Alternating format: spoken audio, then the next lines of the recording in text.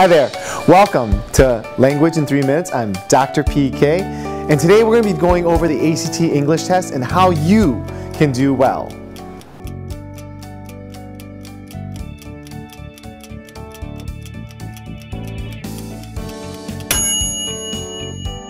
Now remember, in today's video we're going to be focusing on commas, semicolons, and basic sentence structures. What we're going to do is actually go over some specific questions and look at the rules that are required to understanding those particular questions.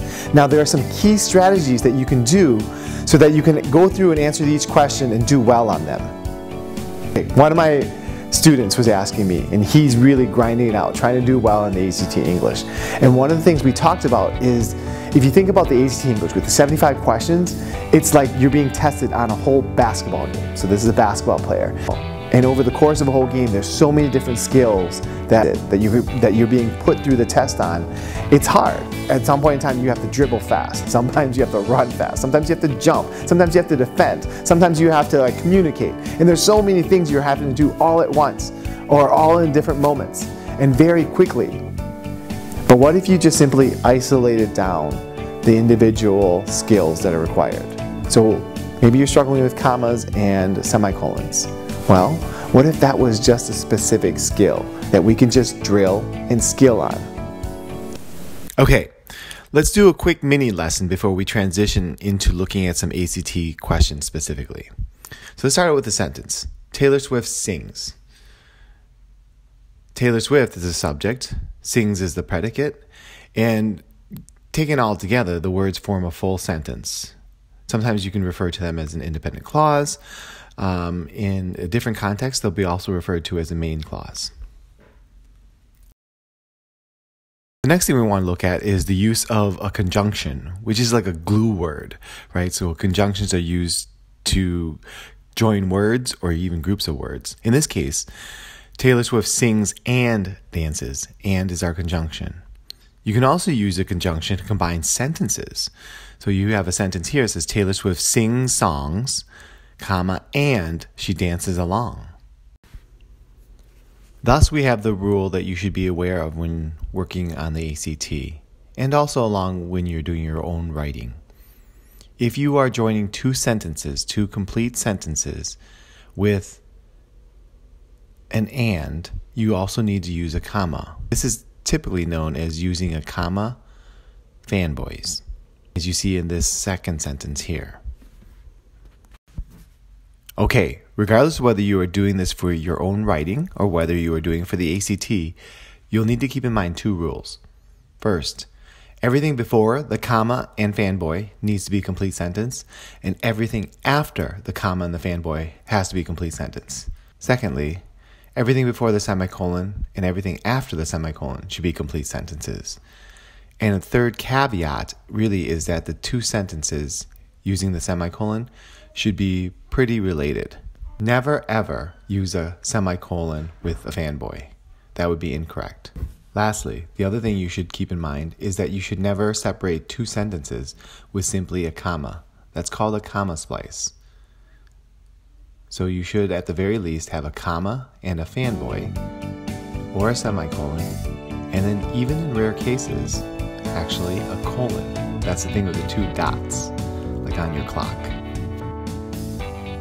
All right, now let's try it. What I'm gonna do is I'm gonna put up some questions and I'm gonna be quiet, which is hard for me. I'm gonna be quiet and you're gonna go over these questions and see if you can come up with the answers in the 36 second time frame.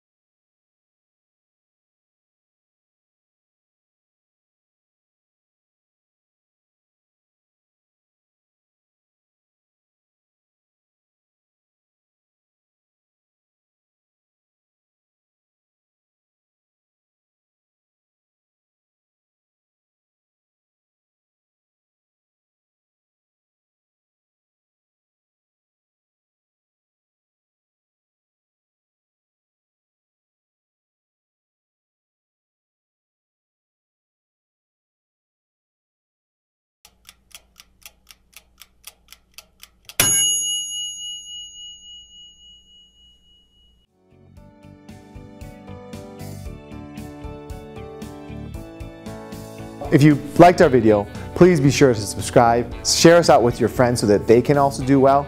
And the thing is, the ACT English is one component of your understanding of English. I mean, really, if you can take some of these rules and apply them to your writing, you'll be much better off because you'll be practicing them regularly and not just for an ACT English test. This has been Language in 10 Minutes or Language in 3 Minutes. I'm Dr. PK and your world has been lit.